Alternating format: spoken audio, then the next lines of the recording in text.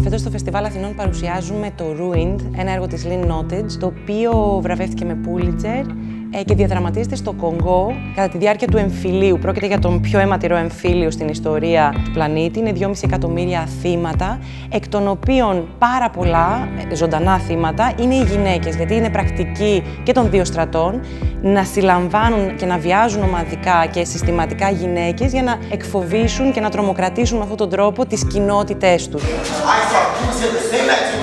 Το έργο αυτό διαδραματίζεται στη μέση του εμφυλίου, σε ένα μπαρ που έχει ανοίξει ένα, ε, μια γυναίκα θύμα ε, ενός τέτοιου βιασμού, θέλοντας να χειραφετηθεί και να ανακτήσει τη δύναμή της και να αποδείξει ότι δεν χρειάζεται οι γυναίκες να είναι θύματα.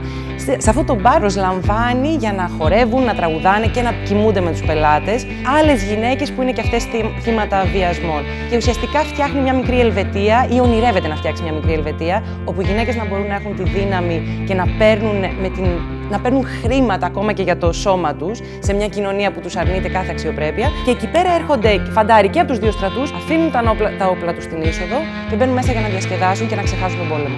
He pays me in gold and he pays me in coltan. What is worth more? You tell me.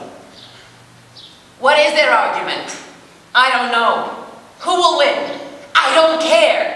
I chose this play because the themes are universal, the themes are historical, and also we have to constantly remember we are a uh, group of people who live in the age of selective memory. We love to forget what happened before. She's a witch! She attempted my wife! Again, where is Keseme?